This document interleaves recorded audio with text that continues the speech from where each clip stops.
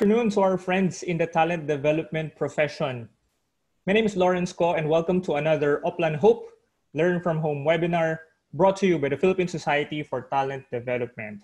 We are actually entering our fourth month of delivering free learning sessions with expert speakers all around the globe. And the theme for this afternoon session is capability and capacity building for the new normal. We are now live via Zoom and Facebook through our page www.facebook slash mypstd. Live recording of our previous Learn From Home sessions are also uploaded there, so feel free to view them at your leisure. And of course, like and share the learnings to your fellow talent development colleagues. So I'm going to see that we're now at 124 participants in our Zoom room and a couple of more people in Facebook, watching our Facebook live. I'll be opening the chat and then I'm going to see some of the and read some of the comments from the chat. I have here Dr. Philip Punzalan. Good afternoon to all. Good afternoon to you too.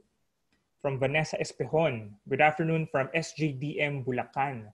So we have our reach not only within Metro Manila, but also to the other provinces of the Philippines. Once again, welcome and good afternoon to everyone. Let me now go to our demographics check. So for us to better understand the composition of our audience today, Nath Monsera, our uh, professional team, a member of our professional team, will help us launch the demographics Zoom poll for the day. And we actually have three questions for this afternoon. The first time would be, uh, the first one would be, is this your first time in PSTD?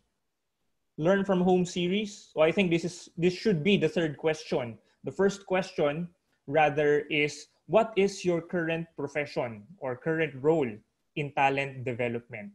Please answer through the poll. Alternatively, you can also go to the chat. Our second question is where are you calling from? And our third question is that is this your first time in attending the PSTD Learn from Home series? And the speakers, I'm pretty sure, are very excited to know more about you this afternoon. So please, please answer the demographics. I'm seeing here Lian is coming from Angeles City. Wow. And then we also have Rowena coming in from Makati and Jesseline from Valenzuela. Again, welcome, welcome, welcome. Thank you, Nat. And let me now share to you the results of our poll. So majority of our participants this afternoon are educators. So they can be secondary or tertiary teachers.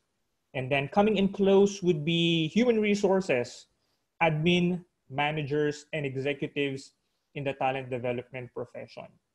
We are more or less pretty evenly distributed. We also have 12% soft skills trainer and 11% technical skills trainer. And our speakers will surely have things to share with you that will further enhance our skills and talent development. Where are you calling from? That's question number two. An overwhelming majority is coming from Luzon. That's around 88%. And then almost equal with Visayas and Mindanao at 7% and 5% respectively. The next question is Is this your first time in PSTD Learn from Home series? or again, a majority, 84%, would be what would call repeat customers, or in this particular situation, repeat learners. So, again, welcome. All right. So now we're currently at 179 participants via Zoom.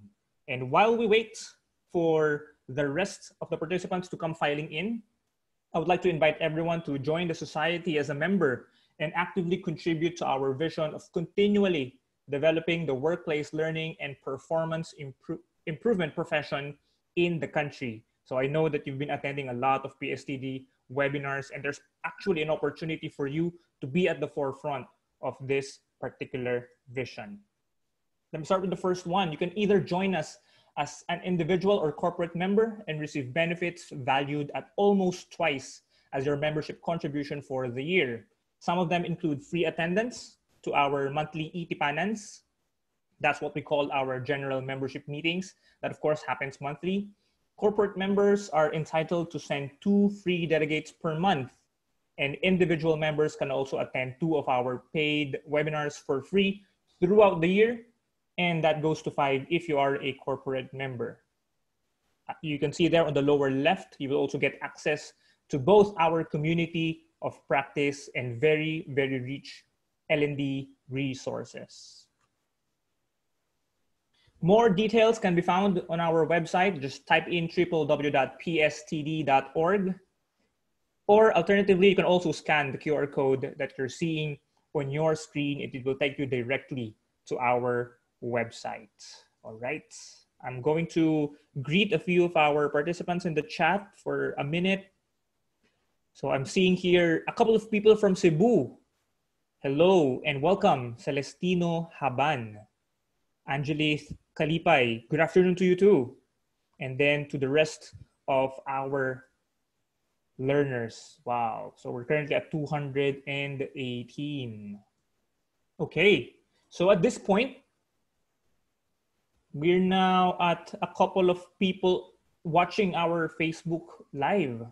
And with that, I would now gladly introduce you to our moderator for this afternoon. She's the Management and Leadership Development Programs Director of Land Bank of the Philippines and a sitting trustee of the board and the secretary of the Philippine Society for Talent Development. She is also my colleague in Toastmasters as she is serving as area director for Division L of Toastmasters in the Philippines. So please, ladies and gentlemen, let's give a warm welcome to this afternoon's Learn From Home moderator, Ms. Kina Torres Rojas. Good afternoon, Kina. Good afternoon, Lawrence. Thank you very much to my fellow Toastmaster. Good afternoon to all our attendees this afternoon. We have a whooping 234 participants in our Zoom room. And for those of you who were not able to register and join us through Zoom, we have already 56 viewers through our FB Live. And just a few reminders to our dear participants so that we'll be having a very smooth afternoon we would like to request all attendees to kindly mute yourselves to manage the flow of information. Our technical person, Nat, will be muting everyone throughout the whole duration. And we would like you to make use of the Q&A tab found at the bottom part of your Zoom screen for questions to any of our speakers for this afternoon, kindly type in your questions through the Q&A tab. And yes, we also have the chat tab for your comments, annotations, or even greetings that you would like to share with us. Kindly use the chat tab. It is located beside the Q&A tab at the bottom of your Zoom application. And we would like to request everyone to kindly change your configuration for the chat tab to send to all panelists and attendees. I am very sure that all of our attendees would love to know your insights on this afternoon's webinar. For those of you who might be asking, how are we going to get the e-certificates for our attendance to this webinar? PSTD will be issuing the certificates to those who will answer the post-evaluation forms, which shall be sent to you via email after this webinar. So the post-evaluation forms will only be sent to those who logged in here in Zoom and stayed for at least 40 minutes. So that's all for our reminders. It's now time for us to meet our speakers this afternoon. Leading the pack is Esinam Adorkor from Ghana, an industry agnostic product manager who has worked across multiple industries such as telecommunications, utility management, and education management. Essie has a solid experience in four different countries over her six-year career. Our first speaker's products impact people in emerging markets the most an ideology that has seen her move from Vodafone to BBOXX and now to ALX, The Room.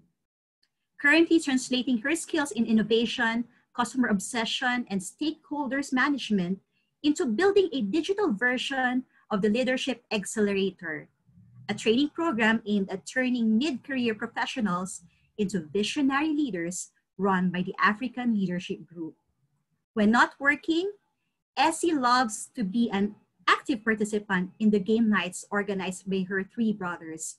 Ladies and gentlemen, Esinam Adorkor, our first speaker. Hi, Essie. And Hi, yes, hi. to join Essie is coming all the way from Ireland is Andrew O'Regan. Andrew is the user experience lead for ALX, has worked in design for around 15 years, having started in marketing and advertising at a number of agencies and in-house in Manchester, London, and Melbourne. Most recently, he has moved over to the product and user experience design, working at the Royal Shakespeare Company, Studio Canal, and OVO Energy. Andrew, when not fighting the good fight that UX does not equal digital, you can find him growing vegetables, listening to music from around the world, and yes, trying to perfect a chili recipe. Wow, a chef indeed. Andrew, welcome to PSTD. Hi, everyone. Hi, Andrew. And to complete our speakers for this afternoon, coming all the way from Mauritius is Kavi Ramburn. Kavi joined ALX over a year ago as a product manager. During his time with ALX, he has worked on three main programs. First, being the Data Science Launchpad, a 15 week full time, highly intensive blended learning program to train recent university graduates into entry level data scientists. Second, the Data Scientist Accelerator, or the DSXL. It is a four month part time blended learning program for non technical managers and executives, perhaps like us. And lastly, in light of the pandemic, Kavi has worked on the digital transition of ALX programs, focusing on one of the organization's core leadership offerings. Prior to joining ALX, Kavi worked in the nonprofit sector in seven different countries, mostly with educational NGOs and an anti-human trafficking organization. During his free time, Kavi thoroughly enjoys playing football and beach ball volleyball and beach volleyball. He also enjoys hiking, baking, making smoothies, and watching French comedy. Ladies and gentlemen, to complete our lineup of speakers for this afternoon, Kavi Ramburn. Hi, everyone. And now I would like to turn you over to our first speaker, Andrew. Take it away. Cool. Thank, thank you, Kina. Um, let me just share my screen here.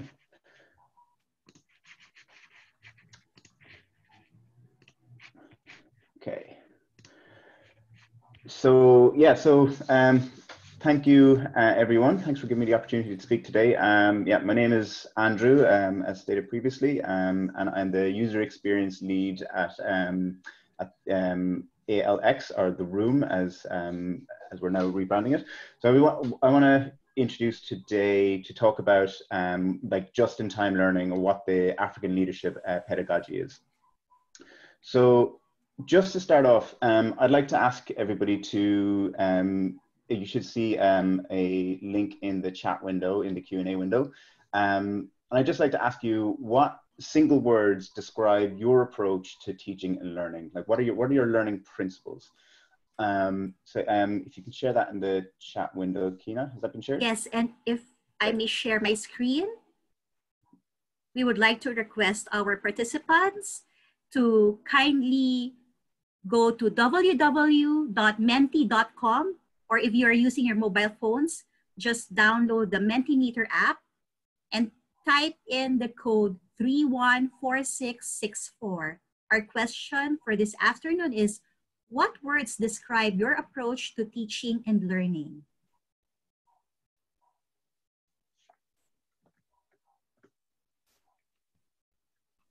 I can see that some of our participants are typing in their answers through the chat box.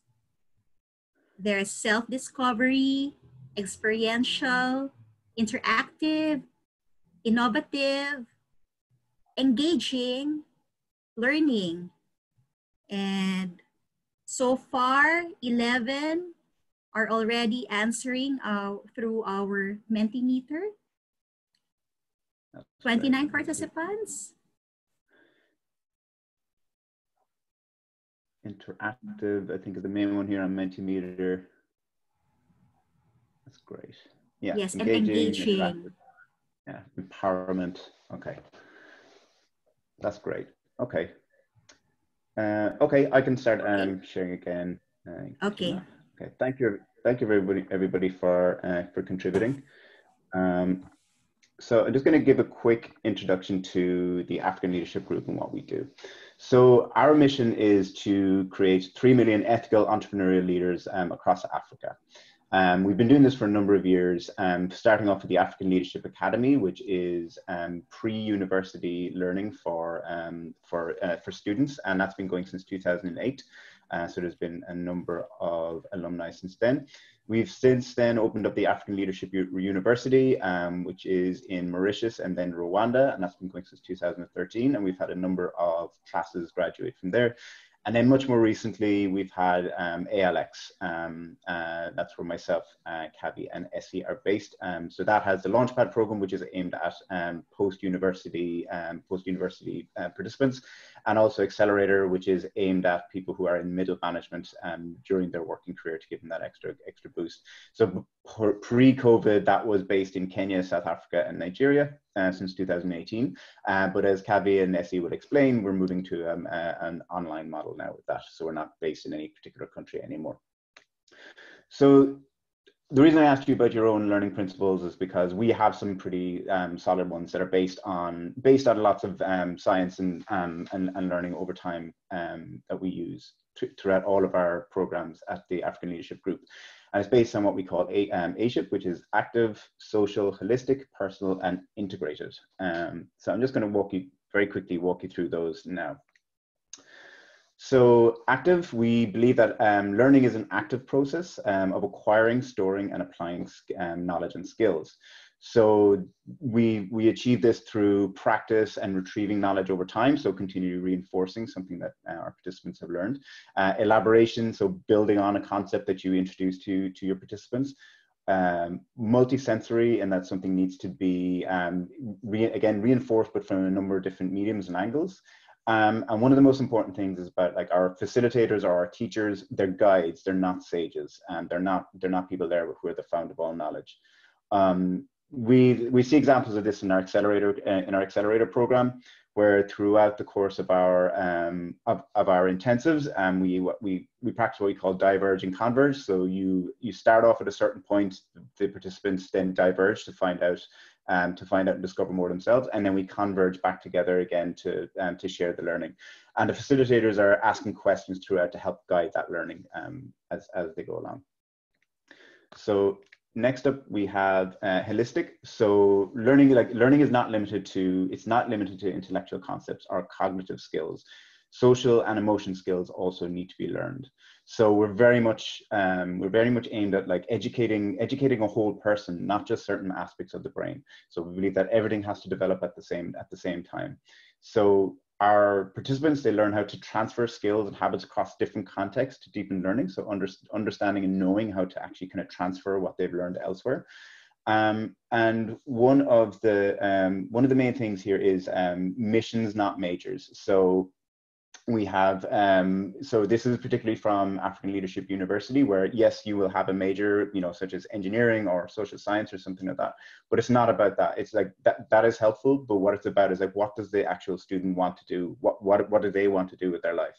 Uh, i think i've actually accidentally skipped a um, slide here but um but yeah um, you can see an example of this in, in our Launchpad program, which I mentioned. So there are, well, there is the initial leadership Launchpad. We also have a data science version of it and a conservation version of it.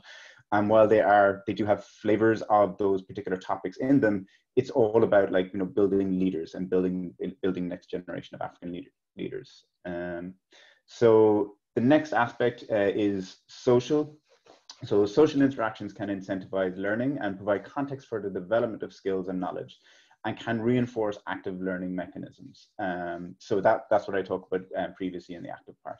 So peer learning is a primary mechanism for social, for social learning. So we we believe that the best way for somebody to to actually kind of learn something and to know they've learned something is it by explaining to something else uh, explaining it to somebody else. So that's when you get a real handle on, on what you're actually trying to learn. And then social context um, for sharing uh, for sharing and collective learning. So again bringing people to get bringing people together to kind of discuss what they've learned and to kind of um, explain to each other how things work. So you see that in place in our launchpad program as well. So we have uh, we have mainly group projects and uh, and peer groups that last throughout the course of the program, and we also have kind of um, scattered throughout the, the, program as well. We have hackathons where people get together to work on problems that are kind of novel to them, and they work through them together, and they they, they share their learning. So the next um, next concept is integrated. Um, so um, enduring learning it requires integration with diverse real world contexts uh, creating opportunities for application and an ability to learn from these complexities um, in these contexts. So very much aimed towards like real world applications and milestones. So uh, finding out how to actually apply what you're doing, what, what, what you're learning in a, in, in a real world uh, context, and also kind of figuring out what are the points along the journey that you know that you've actually developed a little bit. Um, so the focus here is on it's on methods and problem solving skills instead of content and disciplinary expertise. So again, it's all about like that um, cross um, being able to switch across context using skills that you've learned in, in, in a number of different in a number of different places. So uh, one of the um, ways that we can see this in action is in our accelerator program where there is a capstone project at the end of the at the end of the program. And this directly relates back to our participant like so as i said the, the participants in accelerator are more than likely middle uh, mid-level managers or people who are mid midway in their career. And their capstone project relates directly back to what they're doing at work. So they'll find a way through from what they learned in accelerator to um, to to give that extra bit of value add in their in their work context so the last, um, the last part of our um, of our part of our principles is uh, uh, personal. So students or participants should be empowered to learn at their own pace and to learning around the key areas that they're passionate about. So um, it's very it's very much built it's building towards self-direction like making sure that um, our participants actually feel that they can they can direct and figure out where they want to go themselves um, they want to we want to align uh, align the learning to missions and purpose. So again going back to that missions not uh, missions not majors idea. So like basically you you you change your learning to to to um to, to go where you want to go. And then a key part of this is focusing on low stakes and transparent formative feedback. So um at this um so we, what we want we don't want like big bang feedback, um, which can be quite um, can be a bit traumatic for learners. What we want is something that kind of happens very regularly and, with short short periods of time in between. So something like once a week, where you're constantly discussing and getting getting a critique on your work. So it's not such a it's not such a, um, a, tra a traumatic thing. And so um, what we we see this personal um, aspect in our in our um, modules is in um, is in Launchpad, where we have post session challenges, which are very very personal. So we're asking asking our participants to take what take what they're particularly interested from the course of a from the, from the course of, a, of an intensive, and then discover that more about themselves, and it enhances the learning experience through that way, getting people to learn more from themselves. So uh, how the, all this ties together is in the discovery learning cycle. So um, this this is very this is how we see um, learning actually really um, hap happening and, and, taking effect. So you discover, so you realize what you don't know and what you need to learn. Secondly, it's something uh, individual, so you're learning at your own pace and in your own way. Uh, third is uh, peer learning, so you learn it from others who've learned it and can explain it back to you. Uh, and then uh, facilitated group learning, so applying and um, extending your learning over other contexts to wider problems. And then it goes back again to discover. So once, once, you, once you know something, you know how much you actually don't know. So that, that's where it fits into the cycle. So I'd just like to ask everybody in the uh, Q&A. So if we go back to like the, the main concept here is about um, missions, not majors, um, about how they, you should be about about your purpose in life. So I'd, I'd like to ask everybody who's on the call at the moment. So what is your mission? Um, what is your mission? What, what are the things that you want to uh, want to do either either per personal and professional life? So if you want to um, add into the Q&A window and we can um, we can pick out and discuss one or two of those. Okay. Oops. We would appreciate our 344 Zoom participants uh, if you can share with us through the chat box your your answer as to what is your mission. Cool. We've got one here, which is um, teach one student at a time. Yeah create development opportunities for every member of our community like that. Building a competent workforce. Try to and also imparting knowledge Andrew. yeah yeah. I'm liking these a lot inspire others. I love, yeah i love that. Great. And lisa gobiankan said that her mission is to create and develop programs to help employees reach their full potentials at work. Would you agree with, with this, Andrew? And Definitely. I mean, I mean, yeah, when I started the African Leadership Group, I didn't, you know, I wouldn't have been able to formulate a mission as quickly as a lot of our participants have here. So very impressive. I'm glad, I'm glad you guys have thought about this before. Okay, that's, um, I think that's it for me. So I will pass over to Esinam.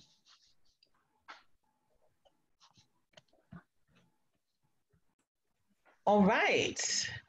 Um, greetings from Ghana and Accra. Um, my name is Esinam. Again, everyone calls me Essie, uh, just to to make life simple for everybody. And and speaking to you from my home office, which is also my bedroom.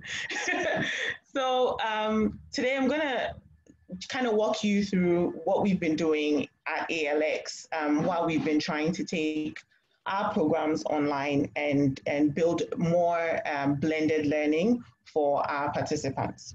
So um, this is what the Leadership Accelerator is um, about, and we are focused on building capacity in, in middle managers so that as they move into leadership roles, they can get all the best um, experience and the best learning um, and then use that to develop their own teams and become more purpose-driven leaders. So our aim is to, like, like Andrew said earlier, to create ethical and entrepreneurial leaders. And we think this starts from these middle managers who are leading their teams for the first time of, or very uh, for the first time in their careers and have no idea um, how to do this. So our program um, pre-COVID um, our program was um, a six month program where you'd come in person for two days every month and we'd have full day sessions with uh, our participants and go through specific topics and specific themes. So here I've shown the themes that we cover in our program. We cover self-leadership, um, how to manage your, um, yourself and your time and your energy and to become your best self. Because if you lead yourself well, then you can lead your team well. So we go through self-leadership and we talk about commercial leadership as well, because as, as middle managers, you have to, you're responsible for uh, budgeting, you're responsible for P&L. So we want managers to be comfortable dealing with numbers, to be comfortable dealing with how they add value to the organization. Then we talk about people leadership and how to lead your team to become better versions of, this, of themselves and also to leave a version of yourself behind because the best leaders are not those who lead, but also create other leaders. And then the last thing we talk about is strategic leadership, because you have to be able to see your team um, in the day to day, the stuff that they do, and then also on a higher level, how they bring uh, value to the organization overall and which direction they should be going to bring more value to, to the organization. So our program is, is structured around these main themes and we like i said we before covid we were very focused on you do some challenges in between sessions. So some of those post session challenges that andrew talked about that um, bring out the learning that you've had while we've been in session where you you go through the whole discovery um, uh, understanding learning cycle in the classroom. So we have discovery in class and then application out of the classroom, which was what our whole ethos of blended learning was about. But um, post COVID, we had to to take accelerator, the leadership accelerator online. And obviously there, there's some reasons why we have to do that. Is is is not it wasn't our first choice, but we had to think about our participants. We didn't want to um, put our participants at risk of getting sick while they travel to our sessions. And we wanted to also take advantage of the fact that we've got people across the world. We have um, cohorts in South Africa, cohorts in Kenya, cohorts in Nigeria, and we actually felt that they would benefit from being all together in the same in the same class um, and sharing their own different experiences. So that was actually a benefit of, of moving on mostly online. Um, and for us, continuity was important. These guys were already in, in the cycle. They needed to be able to keep up with the, work that they were doing, the learning that was going on. It doesn't benefit from, from taking a long break in between. So yeah, so we, we actually decided very early, we have to go online. But on to the next um, the next slide. I'm going to ask a, a question. You guys can put put your answers in the chat. What what are the biggest challenges that you faced with online teaching and learning? And you, I can bet you that we've also faced the exact same challenges. Can you we, let's take about two minutes and you put some some of your thoughts in the chat box.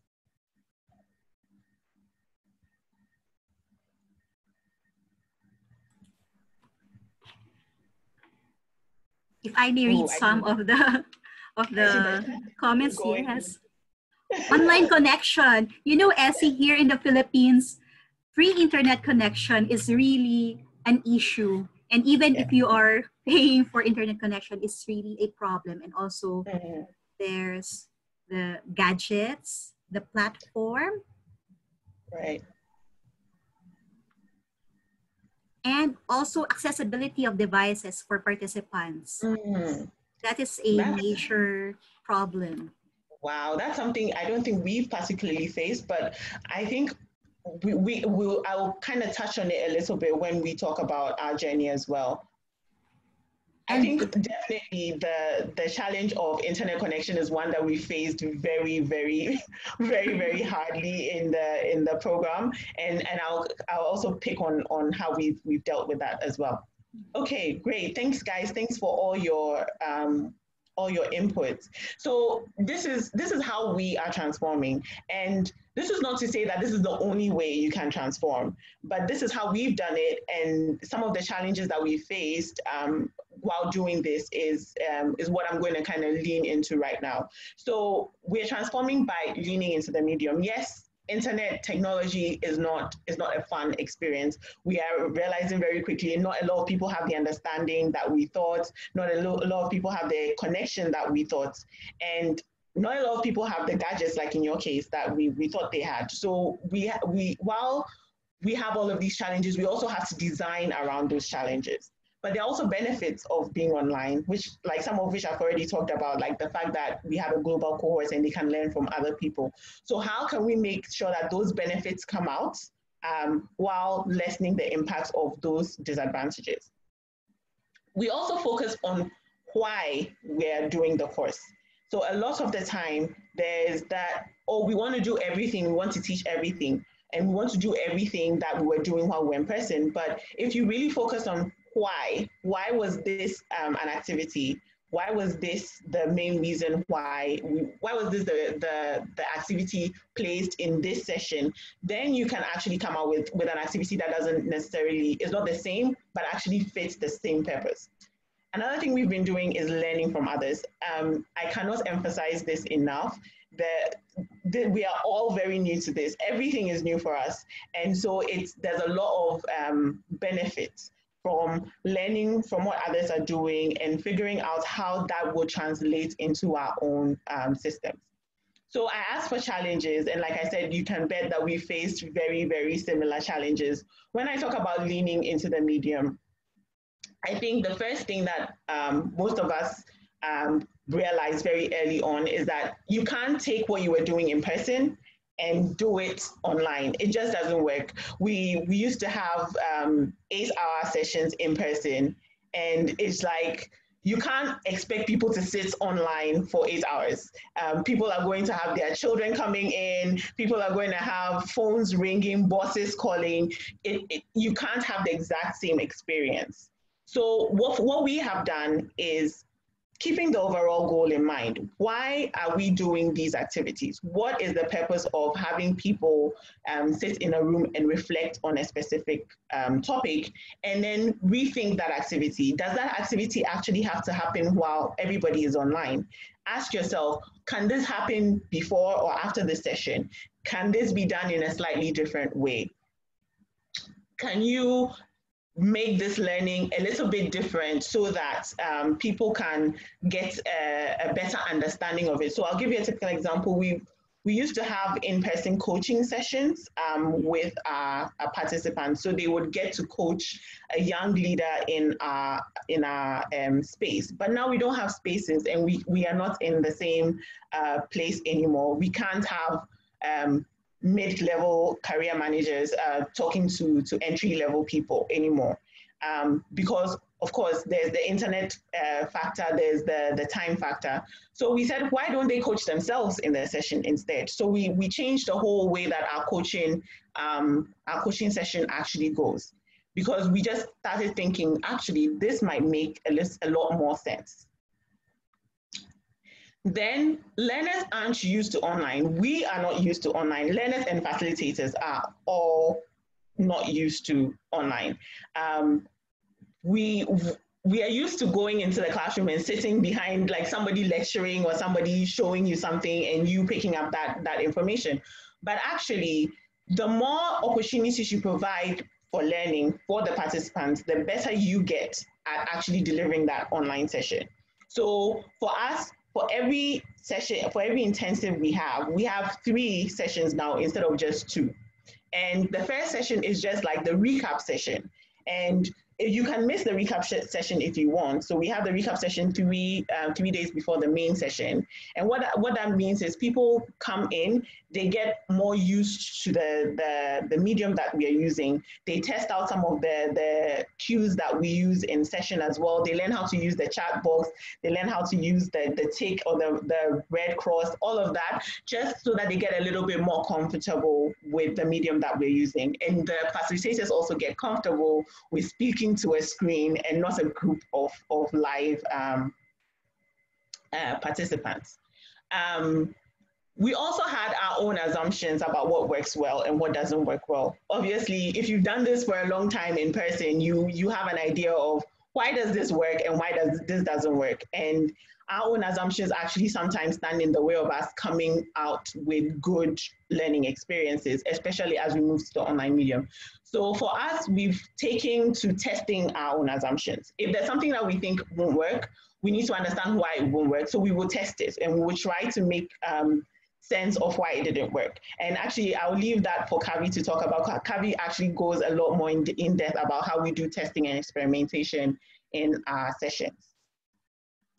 Now, while we are focusing on the, the learning outcomes, I think one of our biggest challenges in the classroom is what, because you have the time, you can add more stuff. You can add more um, juice to the sauce, if you will. Like, oh yeah, yeah. So we're talking about uh, managerial leverage, but also we can talk about your your time management, and we can talk about all the other things because we are in person, and you can actually gauge um, what's happening with uh, the participants. But because you're online, you have to be very, very focused. So for us, what we've done is actually before every session design, we actually list out what do we want participants to learn? And we've been very ruthless about cutting that down. So um, the rule of thumb here is at most three learning outcomes um, per session and um, at most two an activity per hour of the session. So if the session is two hours long, we want only two activities and those activities must, must actually cover the learning outcomes. So we have, it, it allows us to actually pare back and really focus on the real reasons why we are asking people to come into the classroom and come and study something. Um, I talk about limited resources. Um, it's not just the time. So you can ask people to come and sit online for four hours if you want, and people will come, but there's that focus factor a lot of people cannot sit behind their screens and focus on someone teaching them or a learning activity for a long period. I think we realized that our sweet spot is somewhere between two and three hours. And after that, you just lose everybody. And there's no focus, there's no engagement. People are just like, um, we are just here for being here sake. And that's not the kind of experience that you want because our learning is very experiential. It's very focused on you discovering what you, you are getting out of it. Um, we need people to be very engaged throughout the session. So we focus on the big things um, that need to come out. We focus on the big activities that give us bang for buck. So if it's one big activity, for example, last time we had um, we had people doing like a, a workshopping session. If that is the big activity that is going to bring out the most learning, then we spend all our time um, focused on that and do a debrief afterwards instead of trying to fit in like six different activities that would at attack each learning outcome separately. Great. Now for um, for uh, learning from others. And this is where some of those challenges about technology, about internet connectivity, all those things come in. It's new for everybody. And for us, it's an opportunity to and, and, and to teach other people. So while you you realize, for example, we realized that um, some of our participants are having issues with connectivity. What we did was we started recording our sessions and sharing the recordings afterwards. So that if you had poor connectivity, that was a learning for us. People have poor connectivity. Let's actually give them the sessions afterwards. And one of our assumptions was if we give them the sessions afterwards, they won't come to class anymore because they know they're going to get the sessions. But actually, that meant more and more people were coming because they didn't want to miss all the interactions that they felt they were missing in class. So this is these are all some of the things that we were learning and, and learning from the participants actually, not from anyone else. Another challenge we've had is that our way is fairly unique. You saw our learning principles and, and the, the structure that usually guides our learning. We've, we've, we've come to that over a long period of also learning and testing and experimenting. And so we felt our way is very unique. We don't know who else is doing this. But actually, we can pick stuff from different people and, and add. And so we have this um, Slack channel internally where anybody who found an interesting article, an interesting um, way of doing things would put it in the channel and we'd all read and say, okay, how could we um, um, add this to our learning experiences? How could we put this in so that somebody else um, uh, can use this in, in a different and slightly different way? Also, we did a lot of cross-pollination. So while we were doing Excel moving online, there were some other programs that we were designing on the side, and we were also testing some of our assumptions on those um, programs as well. So what's what's that learning that we can learn from that side and put it into into this session? So for example, um, on one hand, we were designing a program for a specific client, and we realized that if we did um, if we gave all instructions to our participants at the same time, it didn't go well on that side. So we actually then moved to giving scaffold um, instructions and actually took that um, learning and put it into the Excel online program. And that made a very big difference in our sessions because participants were like, oh yeah, that makes sense. You, I now get all the instructions of what I'm supposed to do. So that was great. And then the last thing I want to talk about is that you have we have limited time. People are moving so quickly. The world is moving so quickly. It's changing so quickly. So you have to move very quickly in, to catch up with your learners, to catch up with with everything that's going on with them. So for us, what we are doing is, um, and Kavi will talk a little bit more on this, is that we are learning as quickly as we can from the sessions that we are building. So we are learning what works and what doesn't work very, very quickly. If if we try something today and it, it doesn't look like it's going to is going to be a positive experience, we drop it immediately. And we are using data to make those changes. So after every session, we have um, an evaluation form that people fill out, and we use that data to say, okay, so this is something that we should continue doing. This is something that we should stop because that is the feedback that we are getting from our students. So really, it's this this whole experience is not just about it's not about what do you already know. I think that's something that that's an ethos that the AL group is really good at. It's not about we have all the answers. It's about what don't we know, who can we learn from, and how quickly can we learn it. Great. I think I'll hand over to Kavi now. But yeah, I'm open for questions as well.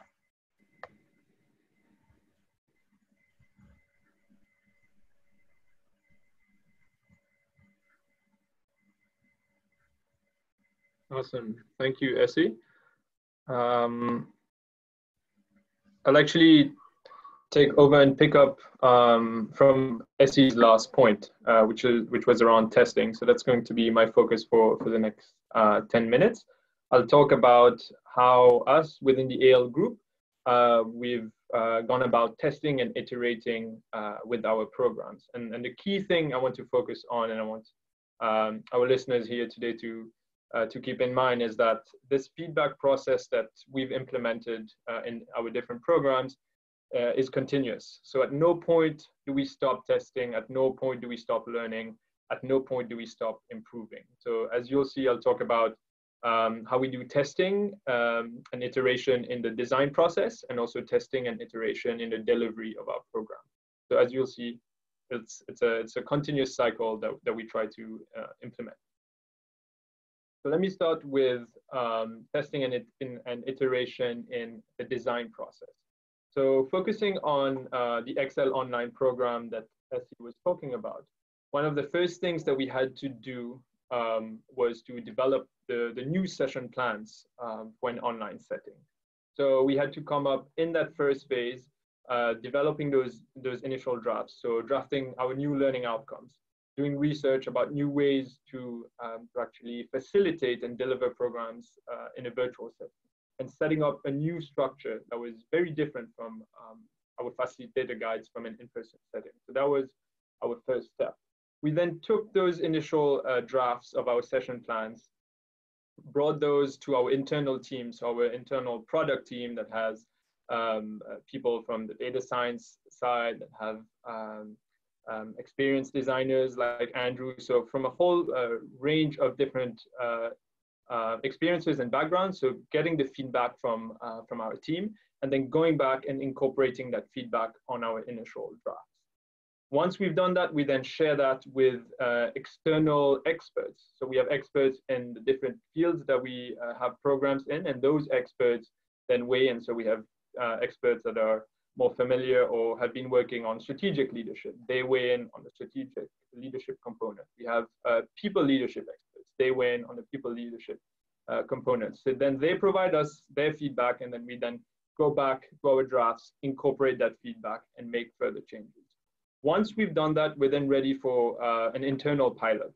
So what we've done uh, before launching any program at scale, so before, and that's throughout our entire uh, uh, journey uh, as an organization, and especially now in an online setting, what we've done is always conduct an internal pilot before um, before uh, delivering or, or, launching something with external uh, participants.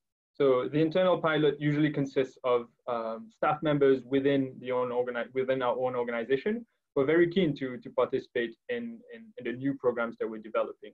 So what we do in those internal pilots is actually test the full program. So we test whether the learning outcomes are being achieved, how useful the content is, the flow of the sessions, the clarity of the sessions. So in a sense, testing the entire participant journey from the moment they learn about the program to the end um, after completing uh, the program. Once we, we, we collect all of that feedback from uh, the internal pilot, we're then ready to, to go back, use the, the data that we've collected, analyze that data, improve, and then go back and incorporate those changes into the session plans. And again, improving the content uh, that we had uh, prepared. That was in the design phase. So that was um, you know, what we've done in the testing uh, and in, the design phase. So now let me talk about uh, testing and iteration in the delivery phase. So once we've piloted the program, incorporated the feedback, the next step is actual delivery. So now we're ready to deliver the program with um, fee-paying uh, participants, version one of the program. Actually, before I, I get there, um, another key point I forgot to mention is as we're also piloting the program, one thing that we that we did with our facilitators that was key is that a number of our facilitators were obviously very comfortable for um, in-person learning, but had uh, had never facilitated in a digital context. So the, the internal pilot was actually very effective for us to uh, train our facilitators, give them the confidence that they can actually facilitate in an online setting. So the, the pilot was not only useful in terms of gathering feedback in terms of how to improve the content itself, but also give an opportunity to, to train our facilitators and provide them feedback on what are the best methodologies to implement in an online uh, setting.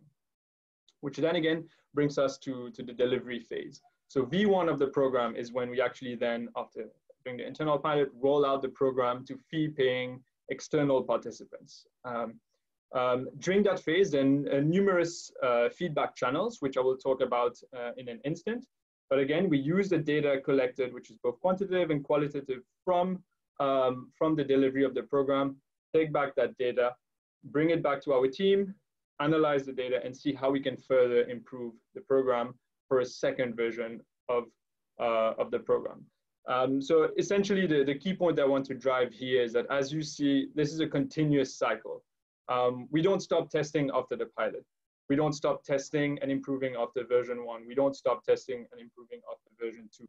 It's a continuous cycle where we're continuously taking feedback from our participants, taking feedback from our facilitators, using um, the data that we're collecting to continuously improve the experience that we're providing uh, to our students and uh, our participants. So let me give you a few quick uh, examples of some of the feedback challenge, uh, feedback channels, sorry, that we use both uh, in the pilots, but also as we're delivering the program at scale. So the first thing that we do is session observations from our product team members. So we have um, members of our team who actually sit in on, um, uh, on those in-person sessions, but now on those online sessions, sit in and observe the interactions between the students and the facilitators, and also actually sit in on the breakout activities to, to get a sense of uh, how the participants and how the students are experiencing um, the program. So one thing that, that we've actually changed based on those observations is the collaboration between the facilitators. Um, so we've realized that uh, in, an, in an in-person setting, it's much easier to have a facilitator, if you have a couple facilitators for them to jump between one another and, and share, the share the session. Um, it doesn't really affect uh, too much the, the flow of the session. We realize that in an online setting, if you have more than one facilitator and they're, they're constantly shifting between one another, it really it leads to a breakdown in the flow and the clarity of the session. So one thing that we've observed and now we've uh, changed is that we usually uh, have one facilitator take care of one main section, then move on to, to the next facilitator to avoid that breakdown in flow and clarity. The second channel that we have is also facilitator interviews and debriefs. After every single session, we sit down with the facilitators, analyze the data, and get their own perspective in terms of how they delivered the session, what they experienced as facilitators. One thing that we realized is, uh, actually Essie talked about that, was the communication of instructions. What we used to do, the facilitators used to provide all the instructions for the breakout activities on Zoom and um, send the participants to the breakout room, which led to a lot of confusion. Um, they, would, they would receive 10 different steps and they, they weren't sure, okay, what step do I need to start with? uh, and so on. So what we decided, as Essie uh, mentioned, was to scaffold the instructions. So you would provide one or two instructions, do a breakout, bring them back to the main room, debrief, provide one or two other instructions, go back to the main, go back to the breakout room. So sort of a scaffolding process that really helps focus on the main key points and uh, avoid uh, uh, a breakdown in, in the flow and clarity of the sessions. We also then, uh, another feedback channel is participant evaluation uh, surveys and interviews. Again, uh, that, that Essie briefly touched on. So we, at the end of every session, we leave about five to 10 minutes for the participants to fill out an evaluation, a comprehensive evaluation form for us. Um, and we usually have an over 90% of uh, completion on those evaluation forms, which really gives us um, really strong data in terms of how we can improve the session for, for the, for, the, uh, for the students. So things that we've improved is the timing of the sessions, how to break down the different activities, but also a key part is finding the optimal facilitator to participant ratio. We realize that in an in-person setting, uh, to have an adequate and optimal uh, ratio, you probably want one facilitator to about 10 or 15 participants. In a digital setting, you can actually go beyond that.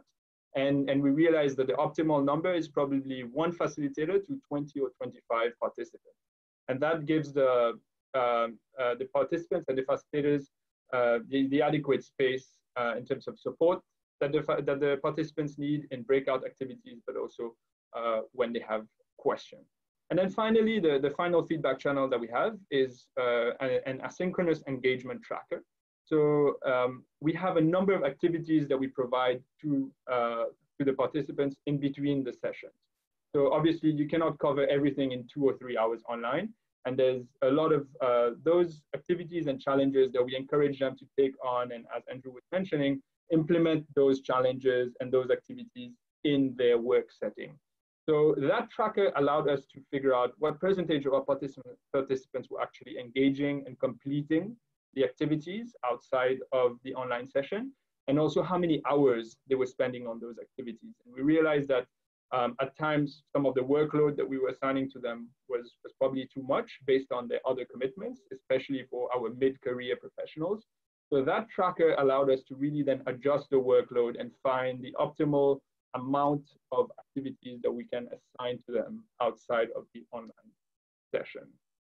So again, the key point that I wanted to bring down um, here was um, this, this whole testing and iteration process is really a, a continuous process. Um, there's, there's no point in time uh, that we actually stop. Even when we've launched a program at scale, we have hundreds and hundreds of participants, we're still testing, we're still collecting feedback, and there's always there's always a way to, to, to improve what we're delivering uh, for, for our participants and improve their experience uh, and their journey in our programs.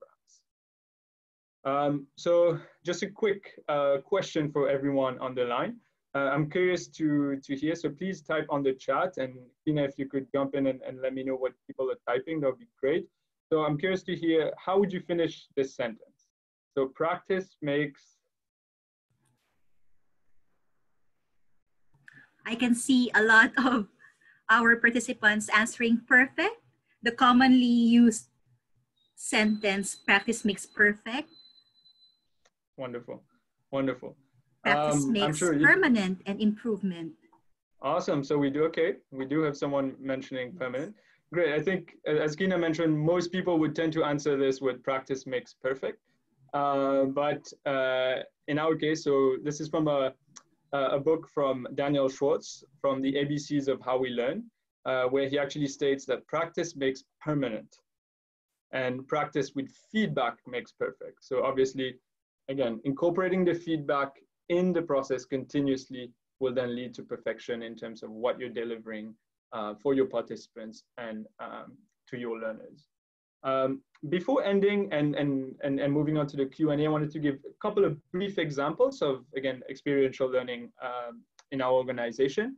Uh, Essie started talking about uh, briefly about that. Um, one thing that we do is so experiential learning in the digital classroom. Um, uh, one thing that we do is uh, coaching sessions for our, uh, for our managers. So we help our managers become better coaches. So we do a simulation through Zoom where uh, we usually have three to four participants together. You have one participant acting as the coach. You have another participant being another participant, sorry, being coached, or they're the mentee or the coachee. And you usually have one or two other participants who act as observers to the session and provide feedback to the coach.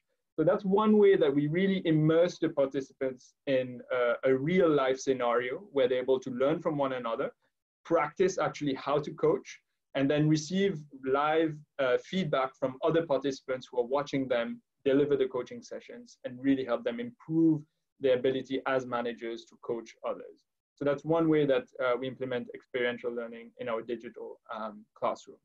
Uh, and then a second example of how we do that outside of the digital classroom. So I did mention to you that we have a series of challenges and activities that we ask our participants to do between the online sessions. One thing that they do is a time audit.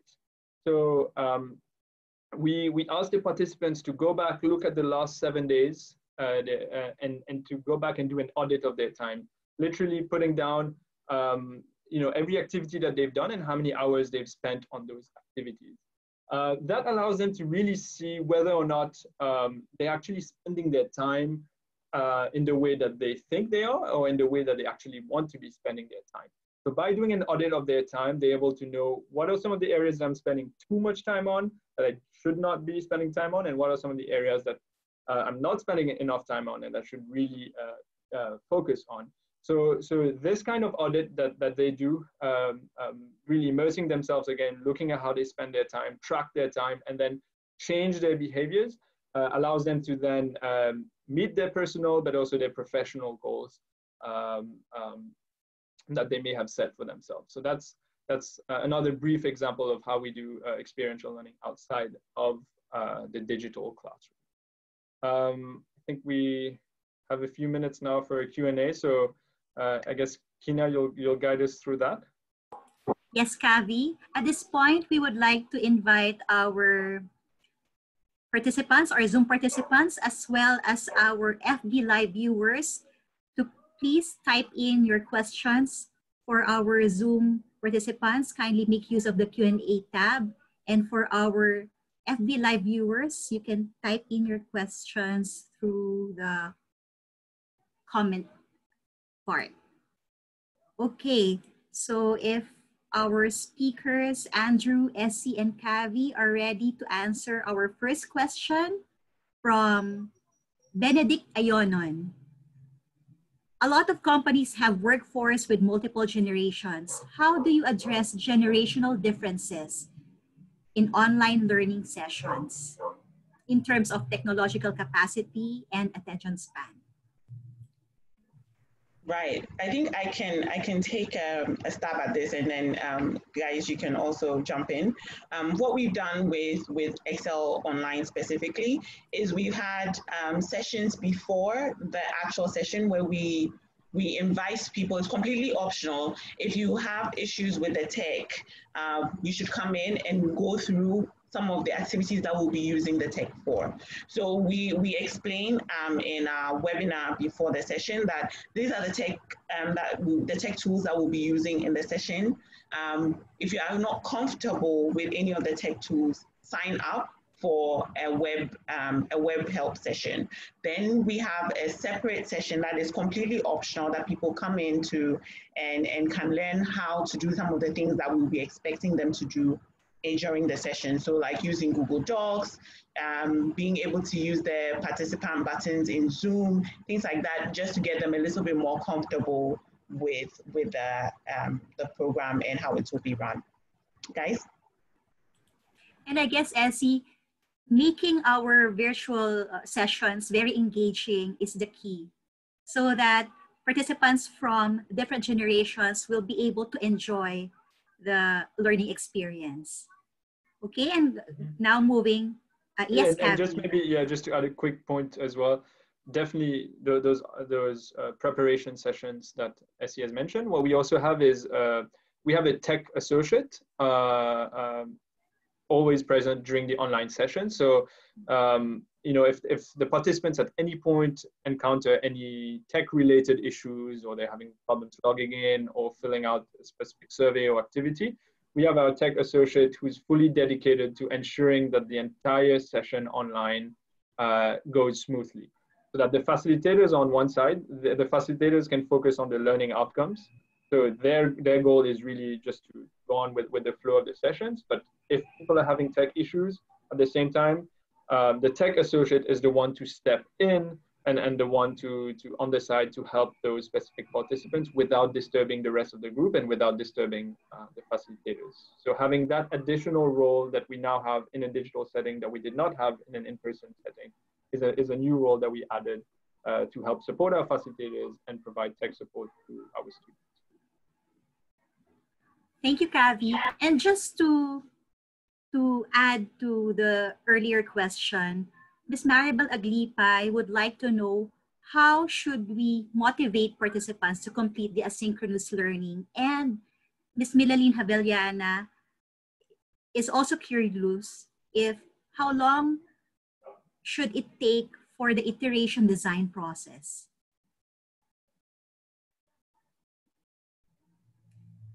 Kavi, would you like to answer or Andrew?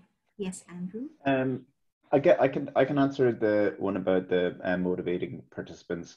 Um, I think it, it all relates back to the like the mission not majors statement that we had earlier on in that you know this this should be something that our learners want to learn and want to find out themselves um, so they're self-motivated to kind of to they're self-motivated to, to discover what what they what they need to, to know to, to achieve their mission in life um, so i mean you know with, with that in mind you know knowing that you know you can't always have something that's directly related to their mission it's it's about making it making it as kind of fun and engaging as possible and like having the having the element of um, peer learning as well in that like so if you feel that kind of social pressure to to have something finished as, as much as everybody else does um yeah and i think I think it also relies on the uh, we also rely on the fact that we don't make things critical. Um, so if you don't do something asynchronously, then it's not absolutely critical. You know, you're not going to completely lose out. Um, like it is, it is, it will really, really help you, but um, it is not something that's going to that's going to completely disrupt the learning. So I think it's a combination of those three three things. Um, and then with the with the design process, I mean, yeah, design design is never done. Like if you if, if you if you ask me, like the design is never done. So it's like um I think I can't. Remember, I think it was. I think it was Essie who said earlier on that, like you know, the, the minute we see something that isn't working in and throughout the course of um, of one of our sessions, then we like then we go and change it. You know, you know, we're we're fairly bold at doing that. That like you know, if something if something doesn't work, great, just change it. You know, we've we've got other ideas, we've got other things to try out, and this isn't. You know, the, you know, nobody gets too invested in an in an idea. Um, so how long does it take? It's like you know, how long is a piece of string? it never finishes. Thank you, Andrew. I guess we can still accommodate a few questions from Eugenia Banta. One important factor we should consider in the training design is to work around how the participants will have a fun experience while learning. How do you think can we incorporate fun in virtual experiential learning?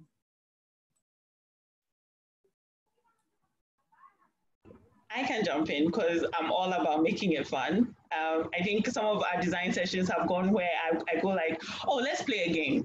and people are like, really? Yes. We, so we, we look at all the ways that um, uh, people will engage with the material. And it's not always just listening to a facilitator. Actually, most of our sessions don't involve listening to a facilitator for more than 10 or 15 minutes. It's mostly our participants doing something, taking active part in the session and actually taking the, the, um, the learning away from, from one of our activities. So for example, we've had activities like a virtual scavenger hunt where people are supposed to look for, for stuff, but in the process, learning how to communicate with each other, even though they are not in the, the, the same um, location.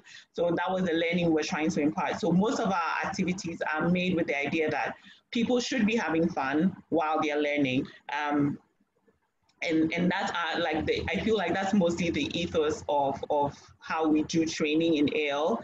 Um, I think what, uh, one of our colleagues said it said, said it best. He says we create kindergarten for for middle managers, and I think that's that's what what the whole process is is about. So um, Kavi, Andrew, you can jump in, but I think for us that is the main main factor of, of how we design our learning experiences.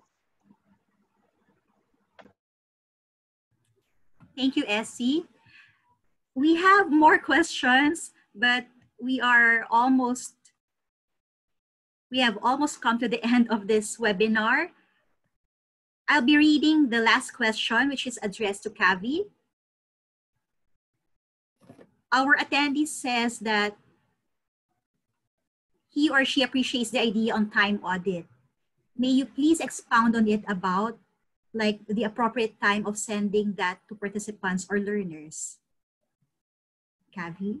Um, sure, yeah. So the, the time audit is, is something that we actually introduce in the online session. So the facilitators introduce the idea of the time audit in the session. And we also have some uh, accompanying resources and Loom videos that we actually do that we send them um, to, to, to understand a bit more uh, why they're doing the audit and, and the different components of the audit. What we also do is send them a template that we've prepared for them. So th that screenshot that I had was from uh, one of our uh, earlier drafts of that template uh, that we provide to the participants. They then, uh, by looking at the instructions that we send to them separately and then having the template, they go about um, uh, tracking their time, inserting the different uh, hours that they're spending on different activities. And it's actually something that we ask them to do throughout their journey uh, in our program. So our Excel uh, online program lasts uh, for six months. So we're actually asking them throughout the entire six months, if possible, you know, drop 15 minutes on your calendar on a weekly basis, find 15 minutes at the end of your week, look back at your week and then track, you know, uh, how you've spent your time in those different uh, areas, in those different activities, which will then give you a better idea through that pie chart, you know, um, if I'm spending too much time um, on social media and not enough time on, on key aspects that I would like to focus on, that gives you a much better idea at that point. But it's, it's, it's, a, it's a continuous habit that we try to uh, have the participants to implement throughout their learning journey. At this point, we would like to request Andrew for your final words for our 321 participants and we have 82 still FB Live viewers who are joining us this afternoon. For the, by the way, for those who will who whose questions weren't answered at this moment, we shall be taking note of your questions and we'll be sending those questions to our speakers so that we can respond to your questions through email. Andrew? Yeah, just um, yeah, thank you very much, everybody, for um, for letting us speak today. Uh, I certainly really enjoyed it, and I've loved your questions as well. Um, yeah, I think my my main point is that like you know the mission is not major; is that like getting getting people to learn. It's like it's it it's a lot through like self motivation, um, and having having your having your participants or learners have that mission will really will really help a lot. And it does that it doesn't matter on the medium then about how it's how it's delivered. Um, but yeah, if you yeah any any questions further for me, um, yeah, please reach out to the uh, PSTD. Thank you. In behalf of PSTD, we would like to extend our gratitude to Andrew, Essie, and Kavi for sharing with us this afternoon your your experience in in how to overcome our challenges in doing this online trainings, this online virtual classrooms, and yes, the key here is really to provide our participants more, more opportunities to learn and testing. Guys, testing, design, testing, pilot testing, and redesigning are very important for effective virtual sessions. At this, at this point, we would like to turn you over to Law for a few announcements. Thank you so much, Kina. So let me just pull this up right.